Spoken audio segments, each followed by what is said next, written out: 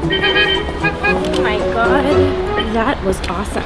I'm gonna put that on YouTube. Just do it, I don't care.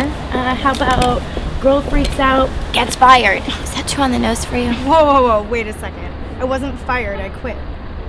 Well, I quit and then he fired me, dick. what are you gonna do now? I don't need them.